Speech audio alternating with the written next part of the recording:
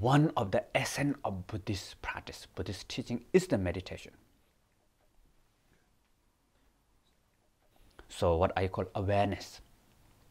So, we should learn awareness. Awareness is our fundamental nature. Everybody has this awareness, and this awareness free, presence, genuine, and pure.